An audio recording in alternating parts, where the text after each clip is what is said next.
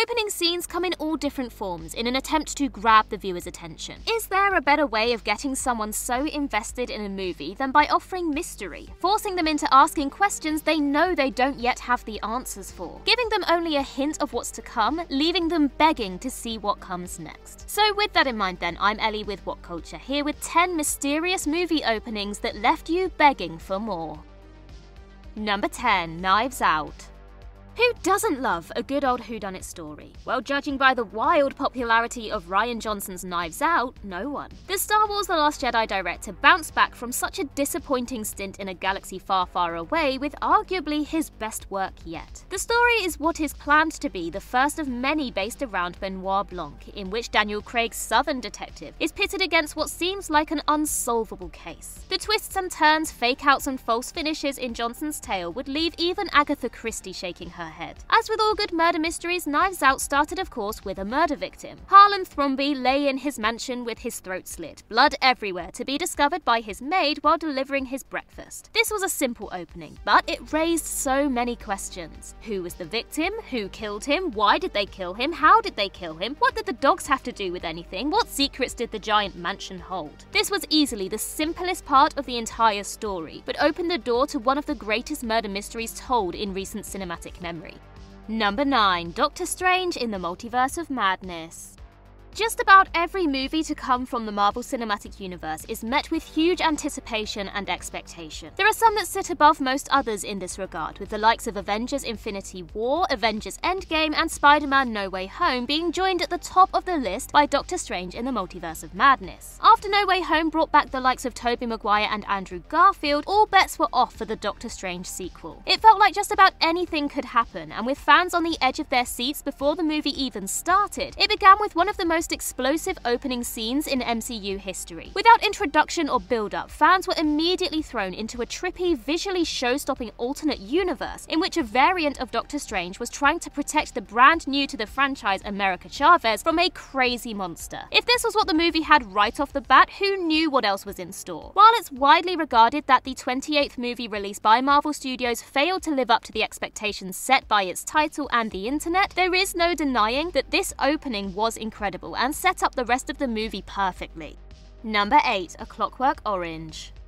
There are no two ways about it. A Clockwork Orange is a damn weird film. Not surprising given that the source material is one of the most bizarre novels to ever be adapted to the screen, but such a transition was executed to perfection. Dystopian futures are nothing particularly special in cinema anymore, with countless being the basis typically for young adult stories. Whereas the likes of The Hunger Games, Divergent, and Elysium give at least some explanation and exposition, A Clockwork Orange did no such thing. The opening shot of Stanley Kubrick's 1971 thriller focuses on Alex DeLarge. As if the costume wasn't weird enough, as the camera moves further away from the character's unblinking, sinister gaze, it brings into view so many more aspects that ask so many more questions. Alex's droogs and their milk, the bizarre mannequins, other people seemingly standing guard, and Alex's voiceover fully utilizing the language created for the novel by Anthony Burgess gave the movie one of the most unique opening sequences in movie history. It was strange and it was unknown, but it certainly drew audiences in for more, going on to earn itself the status of cult classic amid controversy and backlash. Number 7 2001 A Space Odyssey.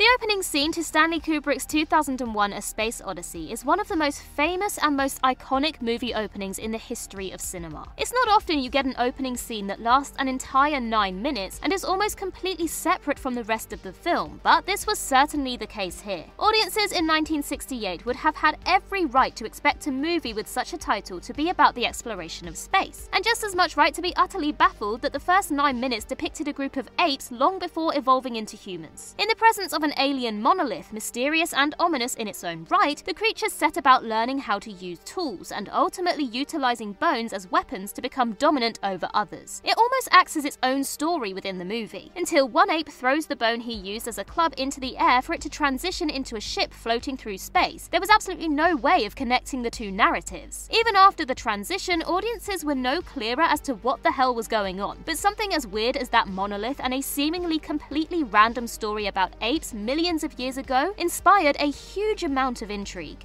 Number 6 The Thing John Carpenter's 1982 masterpiece The Thing is nothing short of iconic cinema. The Kurt Russell led movie walks the line between thrilling and genuinely terrifying, both psychologically and visually, leaving audiences completely in the dark over who to trust from start to finish. This was the beauty of the movie in that uncertainty reigned throughout, even before the titular extraterrestrial being was ever properly introduced. While the mystery of who was real and who wasn't made up the majority of the narrative, to begin with, it was simply a question of what what the hell was going on? In the Arctic, a cute husky dog was galloping through snow almost as deep as it was itself tall, desperately trying to get away from the helicopter seemingly doing everything it could to bring the poor mutt down. What possible explanation could there have been for such treatment of this dog? The fact that the scene was preceded only by the vision of an alien spacecraft heading to Earth upped the ante. There must have been a connection between the two scenes, but could anyone have guessed that it was the dog that was the shape-shifting alien until the horrific scene where it transformed in front of the others? Number 5. Us.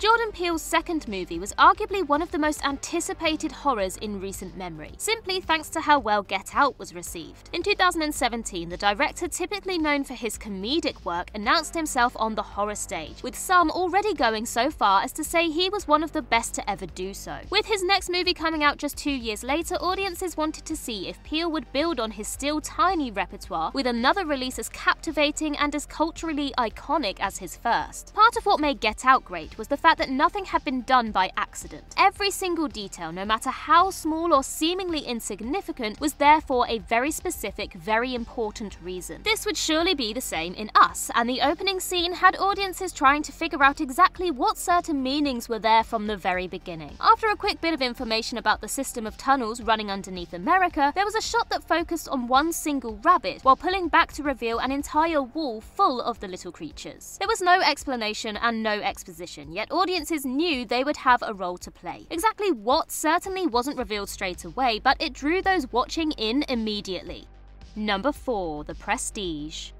One of the most popular methods of opening a movie is the use of a voiceover. There is usually a lot of information the audience will need in order to pick up on the initial events. However, with The Prestige, Christopher Nolan utilised Michael Caine's voice in a different way. His words weren't particularly expositional with regards to the story or the characters. All he did was explain on a wide scale the makeup of a magic trick. Let's be honest, Michael Caine has a voice with such gravitas that once you hear it, you could listen to it all day. Aside from the alluring tones of the Englishman, the audience was drawn in by the trick on display parallel to the narration. Hugh Jackman's character seemingly planned to make himself disappear, but instead fell through the stage into a water tank that locked, leaving him for dead. While Christian Bale was initially a part of the show, he found himself face to face with Jackman, seemingly staring and watching the man drown. Clearly, there was more to this story than just a magic trick, and the opening was so compelling that you couldn't help but be desperate for answers right from the get go.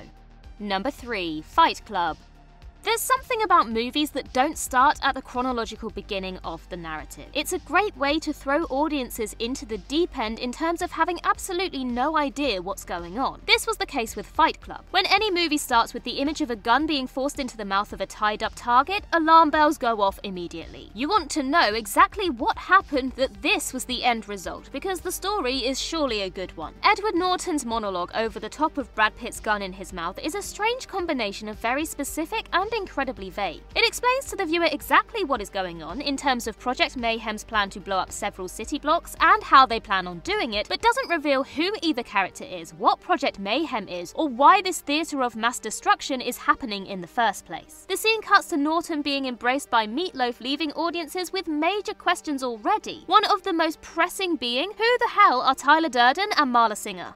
Number 2. Memento. Ever since its release over 20 years ago, Christopher Nolan's Memento has become widely regarded as one of the most confusing movies in history. With two parallel narratives, one that moves chronologically and one that moves backwards, it ultimately makes sense with an incredibly satisfying ending. But until that moment, there are question marks everywhere. That's essentially the point of the entire movie. Leonard suffers from short-term memory loss and cannot form new memories, with Christopher Nolan doing an exquisite job of forcing the audience into the same confused perspective as as his protagonist. Take, for example, the very first shot of the movie. The Polaroid of the blood spattered wall raised the same kind of questions any unexpected crime scene would, but then things only get more confusing as the scene continues, as the actions of the movie are revealed to be moving in reverse. Several times, the hand holding the picture shakes it, only for it to get less and less clear. The character ultimately puts the blank picture back in the camera before shooting the unidentified man in the back of the head. This was always going to take a hell of a lot of explaining. Number 1 Inception.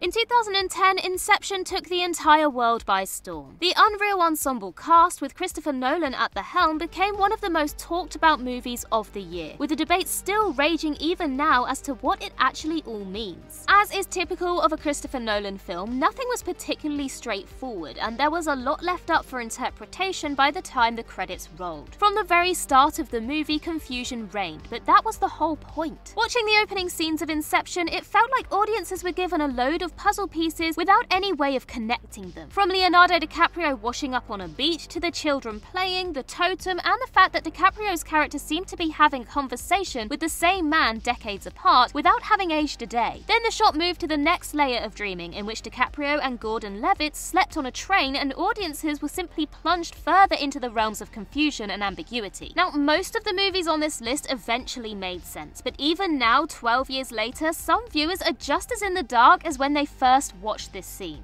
And that concludes our list. If you think we missed any, then do let us know in the comments below. And while you're there, don't forget to like and subscribe and tap that notification bell. Also, head over to Twitter and follow us there, and I can be found across various social medias just by searching Ellie Littlechild. I've been Ellie with What Culture. I hope you have a magical day, and I'll see you real soon.